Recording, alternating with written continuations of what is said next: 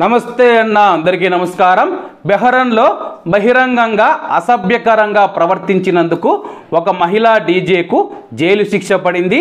అలాగే వివరాల్లోకి వెళితే మహిళతో పాటు అభియోగాలు మోపబడిన రెండవ నిందితుడు అరబ్ వ్యక్తిని నిర్దోషిగా కోర్టు ప్రకటించింది. అలాగే ఈ యొక్క శిక్షపై అప్పీలుకు వెళ్ళేందుకు సిద్ధమవుతూ ఉన్నట్లు పబ్లిక్ ప్రాసిక్యూషన్ తెలిపింది.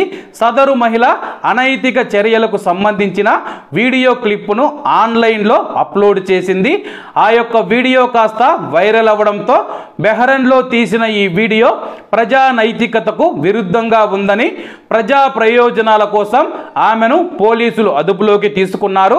అలాగే ఒక మహిళ మాట్లాడుతూ బెహరన్ వ్యక్తితో కుదుర్చుకున్న ఒప్పందం ప్రకారం హోటల్లో డీజేగా పనిచేసేందుకు బెహ్రన్ వచ్చానని చెప్పి వీడియో తీసి స్నాప్చాట్లో అప్లోడ్ చేసినట్లు ఆ యొక్క మహిళ అంగీకరించడం జరిగింది.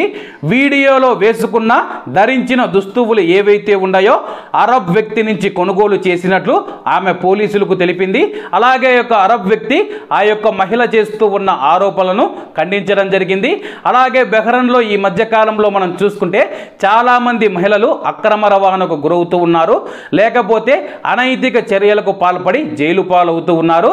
అలాగే గత వారం రోజుల కిందట మనం చూసుకుంటే బెహరన్కు మసాజ్ సెంటర్లో పని పనిచేసేందుకు వచ్చిన ముగ్గురు మహిళలను ఒక భారతీయ మహిళ మానవ అక్రమ రవాణా చేసి వ్యభిచార కూపంలోకి దింపడం జరిగింది. అలాగే ఆ యొక్క మహిళల్లో ఉన్న ఒక మహిళ తప్పించుకొని పోలీసులకు ఫిర్యాదు చేయడంతో పోలీసులు ఆ యొక్క గృహంపై దాడి చేసి మిగతా ఇద్దరు మహిళలను కూడా విడిపించి ఆ యొక్క భారతీయ మహిళతో పాటు మరొక మహిళను అరెస్టు చేసి కోర్టు ముందు హాజరుపరచడం జరిగింది.